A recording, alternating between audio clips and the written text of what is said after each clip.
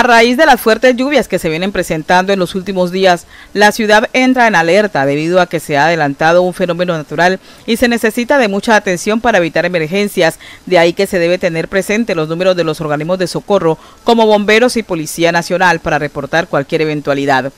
Entonces, frente a todo eso, tenemos que dar unas alertas tempranas a las comunidades para que eh, estén pendientes de sus cultivos de pancoger, los animales domésticos, que son los que se afectan en estos casos, donde el río baja rápidamente, donde las casas a través de árboles que se arrasa el río pueden arrasar con casas también.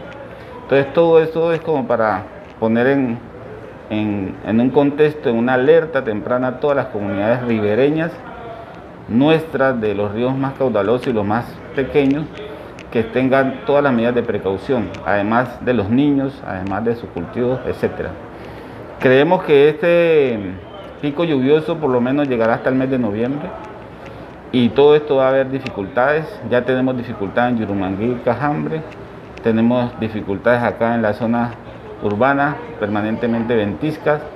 tenemos dificultades en las quebradas pequeñas que se crecen súbitamente y todo esto nos genera preocupación. El director de gestión del riesgo indicó que la preocupación se centra por la presencia de ríos en los cuales la disminución del caudal es muy lenta y se puede generar una alerta temprana en las comunidades. Los números de emergencias para reportar cualquier situación son 24 24 000, 24 222 22 y el 123 a través de la policía.